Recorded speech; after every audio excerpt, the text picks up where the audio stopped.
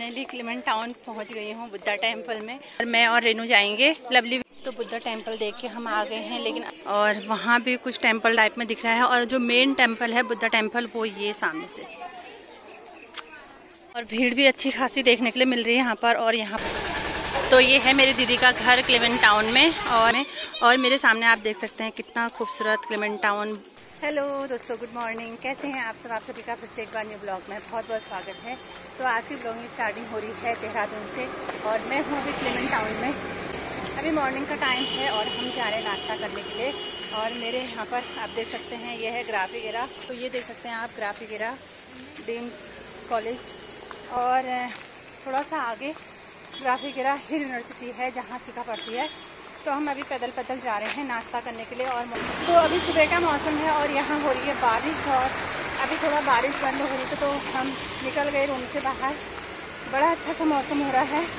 ठंडा ठंडा, गर्मी नहीं हो रही। तो चलिए चलते हैं नाश्ता करने के लिए। सो अभी हमारा नाश्ता आ गया है। यहाँ पर आप देख सकते हैं आलू का पराठा मक्खन और साथ में चाय। दो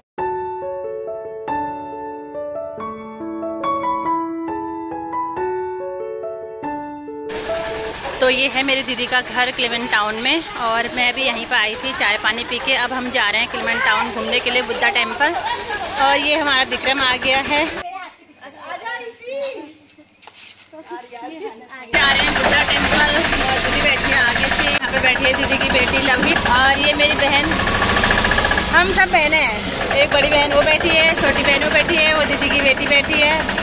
अभी हम जा रहे हैं बुद्धा टेंपल देखने के लिए। बहुत सुंदर लाग रहा ने। बहुत बढ़िया। ये पूरी पीतल की है शायद आगे पॉलिश सा? अच्छा।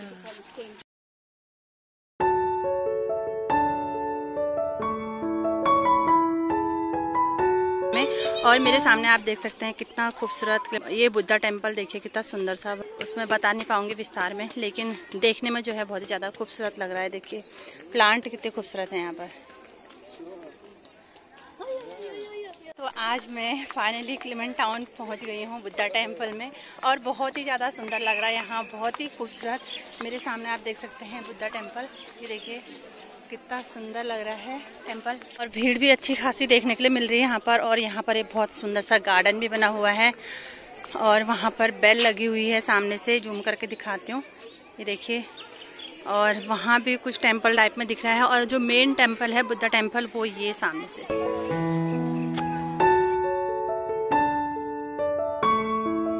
तो आज दीदी लोगों की वजह से मैंने भी देखा वो वाह यहाँ तो मैंने देखा नहीं, यहाँ भी कुछ बन रहा है अभी। ये देखिए। वाह।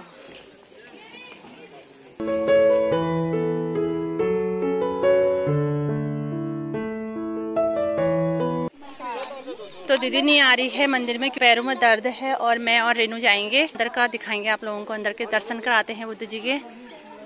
देखिए कितना सुंदर लग रहा है टेंपल वाह मैं पहली बार आज यहाँ पर आई हूँ।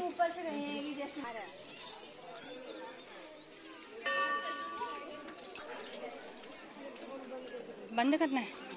तो बुद्धा टेंपल देख के हम आ गए हैं, लेकिन अंदर की हमको फ़ोटोज़ नहीं लेने दी, ना ही वहाँ पर वीडियो अलाउ है तो इसलिए अंदर का नहीं बना पाई, लेकिन बहुत ही ज़्यादा खूबसूरत था, बहुत बढ़िया। तो ये चारों तरफ़ का व्यू आप देख सकते हैं, कितना सुंदर है। और वो दीदी और लवली खड़े हैं। टेंपल बहुत, इसकी ऊंचाई काफ़ी लंबी है, बहुत ज़्यादा ऊंचाई है।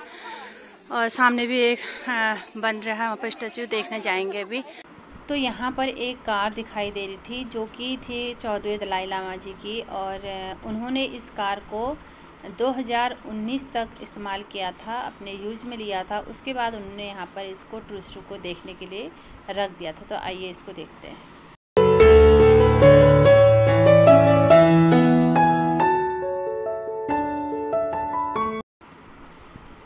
यहाँ पर जो विशाल स्टेचू दिखाई दे रहा है, ये है गौतम बुद्ध जी के जो शिष्य थे, उनका स्टेचू यहाँ पर बनाया गया है दर्शकों को देखने के लिए। तो ऐसा बताया जाता है कि जो यहाँ पर बुद्धा टेंपल है, वो एशिया का सबसे विशालतम, लार्जेस्ट टेंपल जो है, इसको बताया जाता है, माना जाता है और बहुत ही खूबसूरत है। तो यहाँ पर अब हम आ गए हैं, जो यहाँ पर, इसका नाम तो मुझे पता नहीं है, लेकिन यहाँ पर एक मंत्र हमने बोला था, जो कि यहाँ पर बोला जाता है इसको घुमाते वक्त ओम मणि पद्मे अहम ओम मणि पद्मे हम ओम मणि पद्मे अहम ओम मणि पद्मे अहम ओम मणि पद्मे अहम ओम मणि पद्मे अहम ओम मणि पद्मे अहम ओम मणि पद्मे अहम ओम मणि पद्मे अहम ओम मणि पद्मे अहम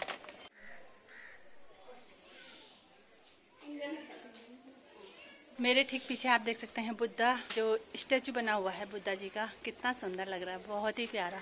और इतना मज़ा आया ना यहाँ पर आके, बहुत सुंदर। तो दोस्तों, कैसा लगा आपको बुद्धा टेंपल? ज़रूर बताइएगा कमेंट्स बॉक्स में। और मैंने तो बहुत ज़्यादा इन्जॉय किया और आशा करती हूँ कि आप लोगों ने बहुत ज़्यादा इन्जॉय किया होगा। और यहाँ पर हम लोग करने लग गए हैं लंच दिन का और बहुत ज़्यादा मज़े किया हमने, बहनों ने बहुत ज़्यादा इन्जॉय किया। बहुत अच्छे से हमने मतलब घूमा फिरा और थैंक यू करूँगी अपनी दीदी लोगों को भी क्योंकि उनने मुझे इतने अच्छे अच्छे सीन दिखाए यहाँ पर आके। तो आज का ब्लॉग भी ही बैंड करेंगे। आई होप आपको वीडियो पसंद आए कि पसंद आए तो लाइक कमेंट सब्सक्राइब कीजिएगा। मिलते हैं नेक्स्ट वीडियो में। तब तक के लिए बाय बाय दोस्तों।